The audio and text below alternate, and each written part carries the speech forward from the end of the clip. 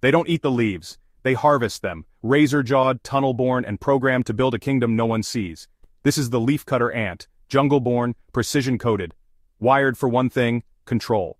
They move through tropical forests from Mexico to Argentina, millions strong, not hunting, not scavenging, farming, but this isn't gardening, it's empire.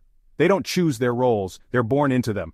The smallest groom the queen and tend the crops. The mid-size carve, cut and carry, and the largest, jawed brute bred for war, silent, locked, and ready to kill. The leaves aren't food, they're fuel mulched into rot to grow one thing, a living fungus cultivated like treasure in pitch-black chambers. It's the only thing they eat. They sterilize their farms, manage waste, deploy antibiotics. Everything is controlled, engineered, alive, and they've done it for 50 million years, before cities, before language, before us.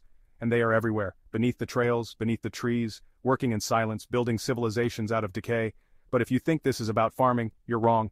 The real story isn't what they build, it's what they're capable of. And once you see that, you'll never look at power the same way again. Follow for more of Earth's hidden wonders and jump to the next video when you're ready to meet the smallest empire with the biggest strength. And now you know, stay curious.